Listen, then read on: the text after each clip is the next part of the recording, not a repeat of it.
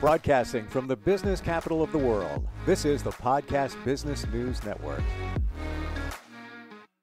We're going to talk about something today that might surprise you. And it's something that can help you heal. You may be suffering, or maybe somebody you know suffering from anxiety, depression. Maybe there was a trauma at one point in your life. Maybe there was one and you don't realize it. And that's kind of navigating your life at this point. She has a great organization that helps people heal from all of this. The the organization is Healing Hearts, Healing Minds. Today we're going to look at something called creative writing. Now, when I say those two words, like you, you probably have different views of what that is, but it can be used to help you move forward in your life, help you heal. Let's learn about that.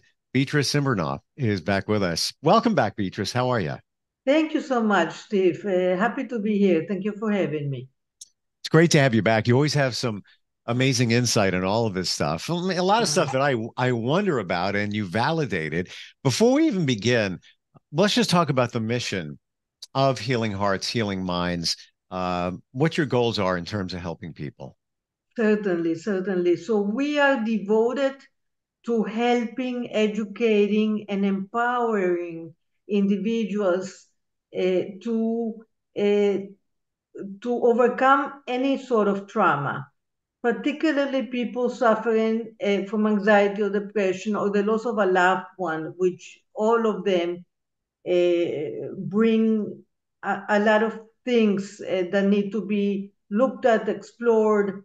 they need to come to the light, to the conscious mind in order to heal. And uh, by teaching individuals uh, various, a wide array of tools, uh, they can tap and they can learn how to tap uh, into their own innate ability to heal, which we have inside of us, all of us, but has yet to become uh, much more well accepted in the mainstream, in the society in which we live. It has to become accepted, embraced, welcomed, uh, integrated, uh, and applied, of course, in our daily life for it to be effective and for it to be uh, successfully done.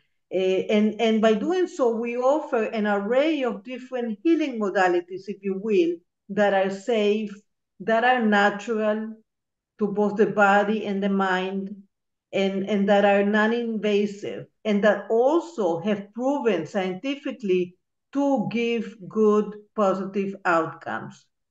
Creative writing is, is one of those um, healing modalities that, of course, it's totally safe, no side effects, very natural because we are um, created with the power of creation and to be creative and for any human being to feel to feel fulfilled regardless of what we decide to do on a professional level um, on even uh, how we create and sustain and navigate towards all our relationships we need to apply the power of creation and to be creative and when we mm. do that we really tap into a, a, a great sea of power. When we are not creative and when we shift or are forced to be in the flight or fight uh, direction, uh, when we have too much anxiety, when we have too much distress, either both physically or emotionally, then that kind of shuts down our creativity. It shuts us down. So this modality is used to help individual come out of that and utilizes mm. the, the word, the written word, in order to um, reclaim itself. It reclaims uh, parts of ourselves. It acknowledges all we are. It um, it can help us reframe life experiences, uh, those that are good, those that are positive, or we name positive versus those that are negative, and to be able to see it with a different view, with a different eye, with a different color, so to speak. Changing the perspective can change the entire view of how we view the life story of our lives. And in doing so, we can definitely heal from the inside out. This is what it's all about. And it can be so simple. So when we talk about, well, two things here creative writing, but creativity, if we put that to the side, creativity to this side over here, we can be creative in many different ways. Eh, our lives are creative. When you think about even driving uh, in traffic, you need to get somewhere. How am I going to do that? I'm going to be a little creative. I'm going to make a turn here, turn here, turn here. Creativity is is everywhere. I'm usually the first one to tell people who are going through some challenges write it down. Write down what you're thinking, what your plan is, because our minds are so jumbled. It's just like all these things are ricocheting inside our heads, and you, and you can't really get a focus on it, and then that's going to lead to anxiety. And so I'm I'm really intrigued uh, as to what what for you creative writing looks like. What you're suggesting. Uh, it, it takes several forms uh, depending upon uh, obviously what the individual is going through uh, it can take the form of simply um, asking the right type of questions and engaging encouraging and directing the individual with various specific questions about the situation that is disturbing them and then writing it out so so that they can see various perspectives um, that they hadn't considered before, and mm. then we, we then then we um, are able to um, take that information and shed some light, and then release it utilizing a combination of the healing modalities that I, I do with them.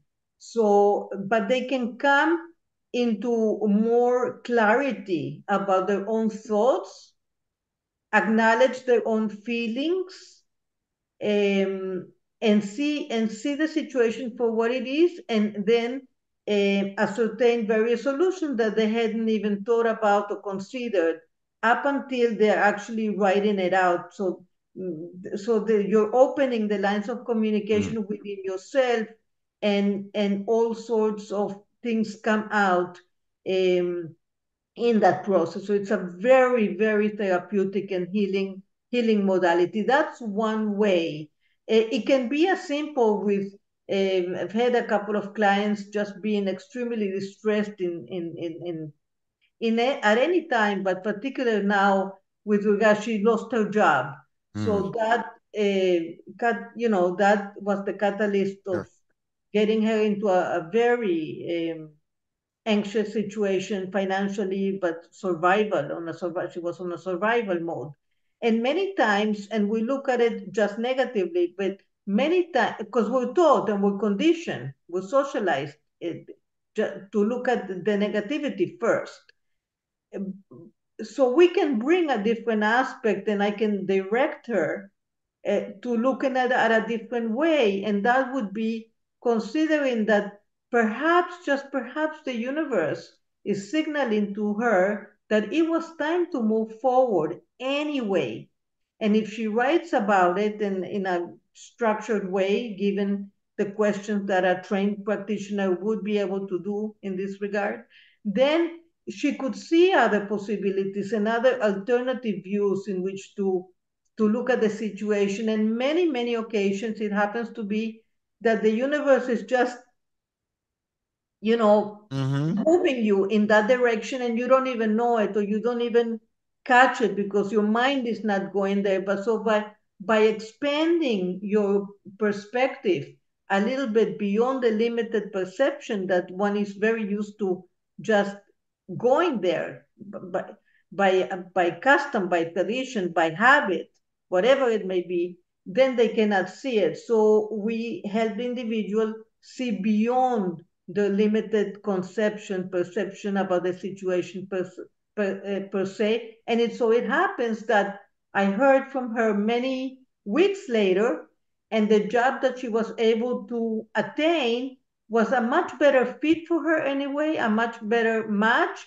Sure. Uh, provided more in every which way, provided more financial resources, it provided uh, more freedom, but it provided a much better alignment with regards to the purpose, um, with regards to the way she saw her purpose in life would be. So just, just one example.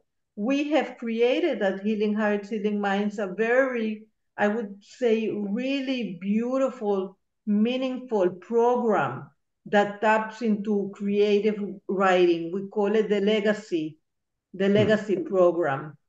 And this is a program that, of course, again, utilizes the word to, to, um, to put forth in your life and to see your life story in many different, in many different ways, uh, in a much more expansive way. It puts in writing what it really matters most in life. So you're able to share through that modality, you're able to share with yourself, with your loved ones, with other family members, with the community at large, uh, the your life lessons, your life stories, your life experiences, your triumphs, your challenges, and how you came to overcome it.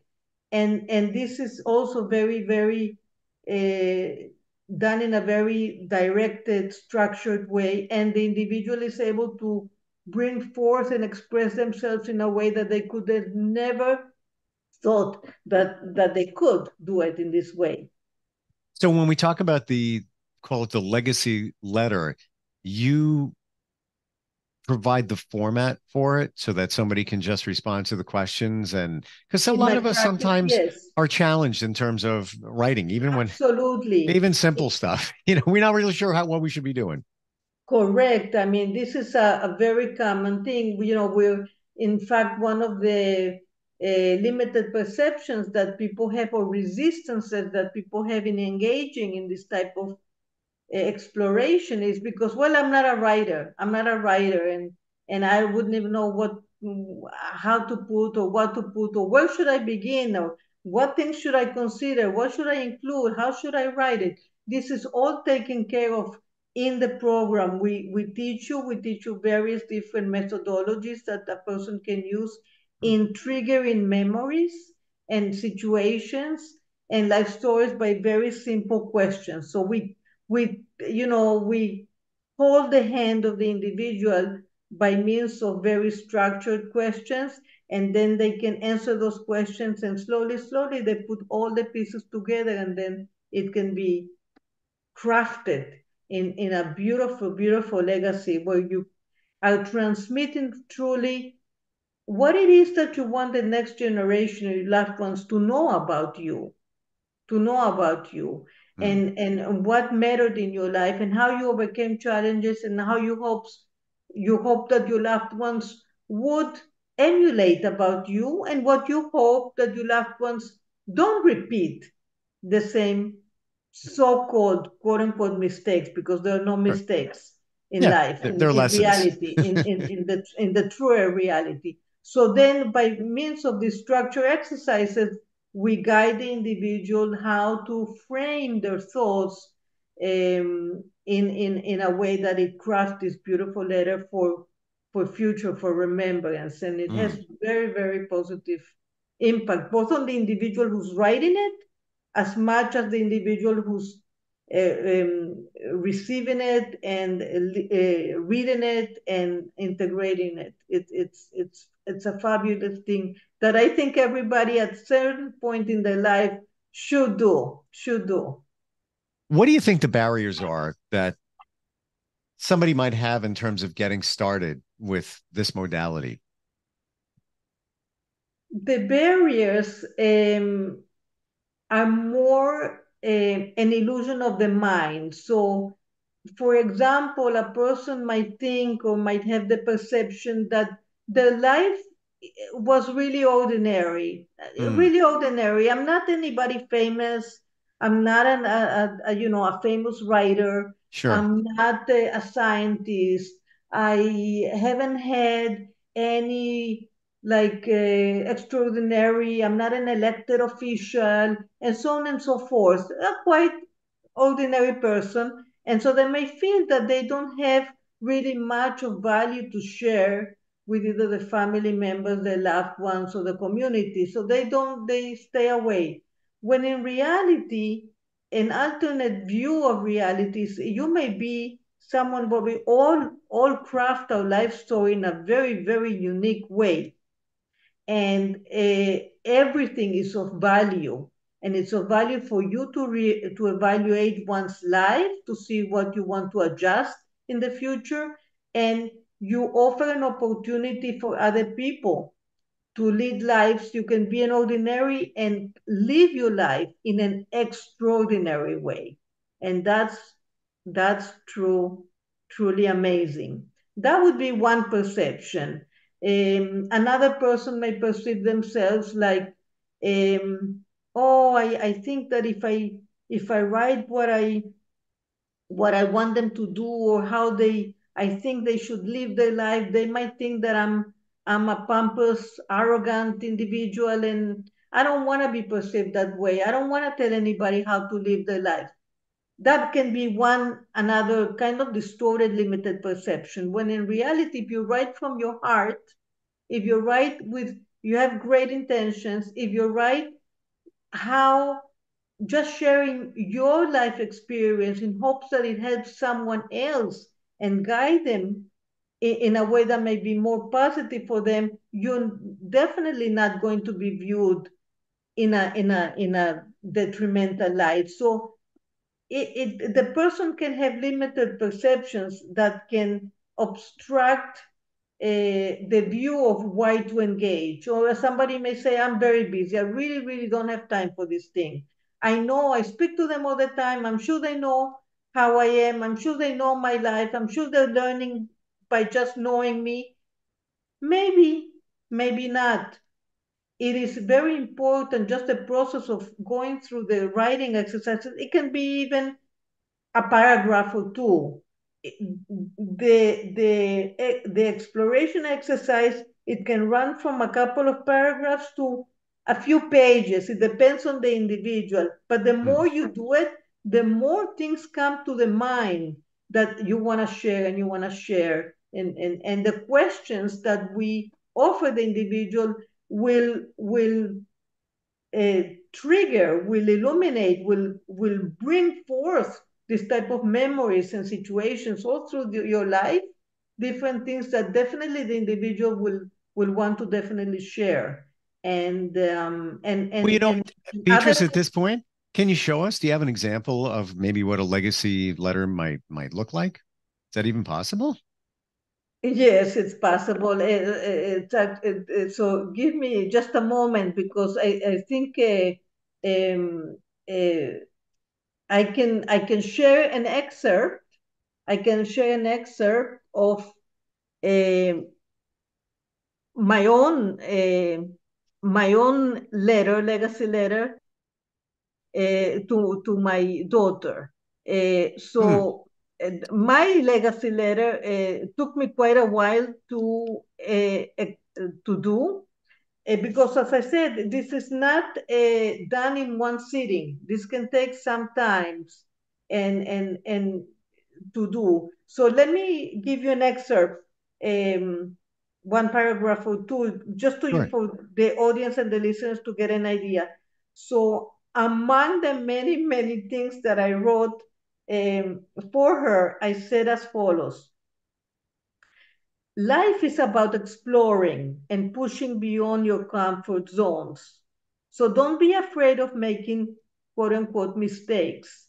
What I have come to learn much later in life is that the so called mistakes we make are not mistakes at all.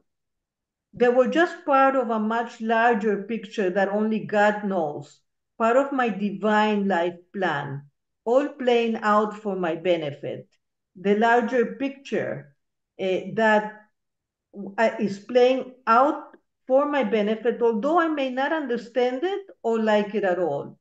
All I have to do is just to see it that way and trust and trust. and trust some more. I also have learned that pain and struggle leads us to seek more, to give more, and to reveal more.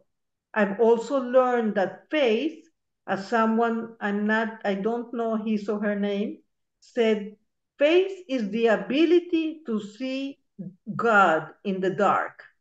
So go out and feed your faith, and all your fears will starve to death. I pray hmm. that you leave a bond with each person you meet, that you live respecting your own integrity and honor, that you live within the energy of love and compassion, and return to that energy when things don't feel right, that you live making wise and blessed choices with your will, to maintain perceptions of wisdom and non judgment toward yourself and others. I pray that you learn to release the need to know why things happen as they do and not to project expectations over how you want the day to be or how you want others to be. And finally, that you love and trust the beautiful and amazing person that you are, that you trust God and in His divine plan. This is um, a small, small excerpt of many, many pages that I wrote. Uh, wow. Wow. Um, but, fascinating. Uh, and and what you even said there is so powerful about your faith. And for those that don't want to connect it to religion, you don't need to. Just faith in yourself will starve your fears. and just it'll squash them down. Correct. we don't I don't think we realize it's, that. It's not about religion in terms of faith, it's about spirituality. Are sure. and the connection to spirituality. And that's very important because that is a critical aspect of the work that we do at Healing Hearts. Sure. Because we find that when there is a vacuum in any connection uh, to to to to living a life in a in a spiritual oriented way, then then it, it's a lot easier to fall into despair and to fall into um, anxiety, depression, and what have you much harder to come out. But if you are connected strongly to a faith, to you spiritually speaking, and a perception that that things are in a, all, all the time in a fluctuation more, and they will change, and you have faith, uh, it's a lot easier to come back to center, to reclaim your power, as we say, your power, tap into healing innate healing abilities, and and and come out a much stronger individual all the way around and at all levels of their being. Wow. I noticed that you said that that letter was written to your daughter. When you do a legacy letter, is it intended for one particular person or can you just write a legacy letter in general?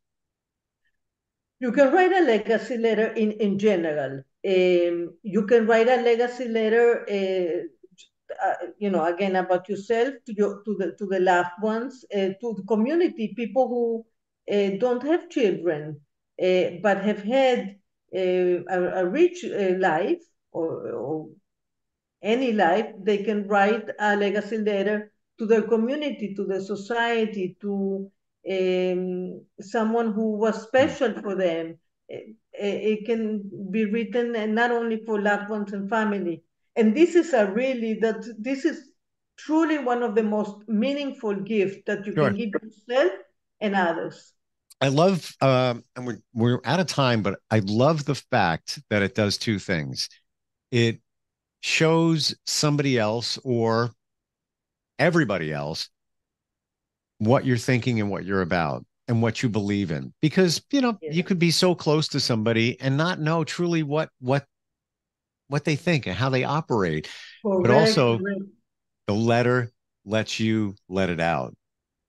Exactly, and there therein lies the healing, the healing potential, amazing healing potential. Yeah. Just simply engaging in that process because you see more, and more is revealed, sure. both to yourself in clarity and for others to yes. see you as, as you would like to be remembered. Mm, yeah. As you would like to be remembered by others clarity is, I think, the best word for all of us. It gives you clarity and it also yes. gives somebody else, your daughter, better Yes. clarity on w- what you stand for, what you believe in, who you really are.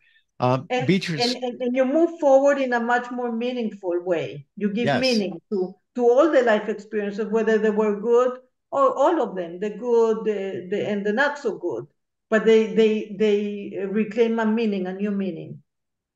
um, amazing how that can help you heal. And that's how it works. Beatriz, how do we connect with you? If somebody wants to learn more about healing hearts, healing minds, how do they do that? Uh, Please visit my website at www.healingheartshealingminds or contact me directly through my uh, number 561-599-1201. We look forward to hearing from from you, uh, from your listeners. We look forward to uh, extending our, our love and gratitude. Love it. Uh, get creative and heal. Fantastic. Thank you, Beatriz, uh, for today. Loved every moment of it and uh, learned a lot. I appreciate it. Thank you. Thank, Thank you, you. for everything again. Blessings. Thank you. We'll be right back. Are you looking for even more of the podcasts and hosts that you love? The Podcast Business News Network is proud to announce that you now have even more ways to listen live. Check out the MyTuner Radio, online radio box, and Simple Radio apps on iOS and Android, or find us online. Search for Business News Network on mytuner-radio.com or search Podcast Business News Network on streema.com and onlineradiobox.com slash US. Take your podcast on the go and don't miss a minute of the action.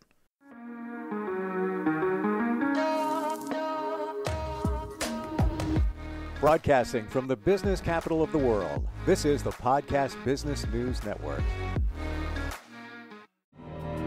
For nearly 2,000 severely injured veterans, everyday life has become filled with barriers. Day to day simple tasks can become pretty daunting. I have to carry my chair up two flights of steps or have somebody do it for me. What scares me the most is just the falling. when I'm struggling with my house, I think, you know, to have that one great barrier just knocked down, I mean, it's it's crucial. Home for Our Troops is a wonderful nonprofit that builds a mortgage free, fully adaptive, handicap accessible house. And there's no catch. It'll be our very first home that we've ever owned. This is a game changer. This is where your life begins again. We need you to join us in completing this important mission. Please visit hfotusa.org and help build homes and rebuild lives. Because of you, everything's going to be okay.